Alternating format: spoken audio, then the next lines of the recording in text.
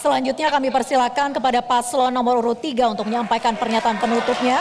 Waktu Anda 3 menit dimulai ketika Anda berbicara.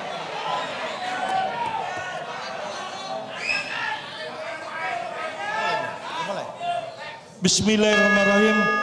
Bismillahirrahmanirrahim. Assalamualaikum warahmatullahi wabarakatuh. Tanggal 27 November adalah hari menentukan masa depan lima tahun Kabupaten Tangerang.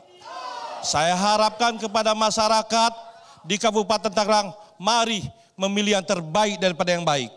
Karena apabila kita salah memilih, maka akan menderita lima tahun ke depan. Saya yakin dan percaya dengan apa yang Anda lakukan selama ini rasanya berat di hati untuk memiliki 03. Namun insya Allah waktunya saatnya Anda akan kembali ke 03. Karena kami mempunyai program-program yang selalu bersentuh dengan masyarakat. Terutama bagaimana memberikan jaminan kepada masyarakat, jaminan kematian dan masa depan mereka. Untuk itu 03 adalah adalah perjuangan kami bersama dengan uh, dengan jalur independen. Kami juga insya Allah akan melakukan program pro rakyat. Kami akan evaluasi semua proyek-proyek strategi nasional tanpa rasa ragu-ragu. Dan juga tidak ada lagi proyek yang sebanding dengan nyawa manusia yang ada di Kabupaten Tangerang. Sudah cukup pengorbanan yang selama ini. Semuanya berdiam diri, tidak merasakan penderitaan masyarakat di Kabupaten Tangerang. Ingat, Sawah-sawah di utara itu sudah kering. Ini kasih sudah ada air. Itu terjadi. Mau diapakan masyarakat Kabupaten Tangerang ini? Mau dimatikan? Apa? Mau dimiskinkan? Ini terjadi. Saya sangat prihatin. Terutama di daerah Kemiri, daerah Mau, daerah Keronjo. Semua sawahnya kering-kering semua. Untuk itu, mari bersama-sama pilih 03 untuk menentukan masa depan Anda.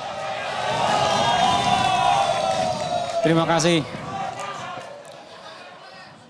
Saya ingin mengucapkan terima kasih kepada para pihak penyelenggara, KPU, Bawasli, dan semua instansi yang mengawal proses pemilihan ini berjalan dengan baik.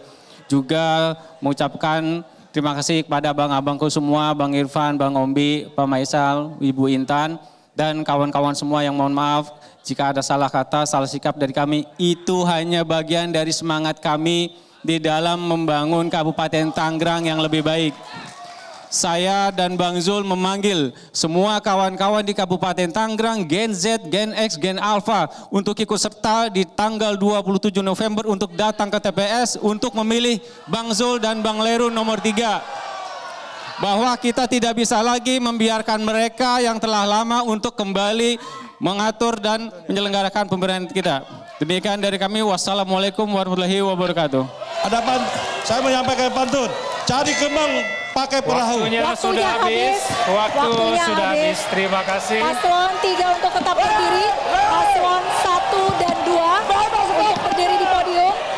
Untuk berdiri juga di podium. Harap tenang. Berdiri Kami di podium. Silakan untuk berdiri di depan podium, Mbak. Baik. Baik hadirin dan pemirsa itulah pernyataan penutup dari ketiga calon Bupati dan Wakil Bupati Tangerang tahun 2024. Mari kita berikan apresiasi yang meriah bagi ketiga pasangan calon Bupati dan Wakil Bupati Tangerang tahun 2024. Jelajahi cara baru mendapatkan informasi. Download Metro TV Extend sekarang.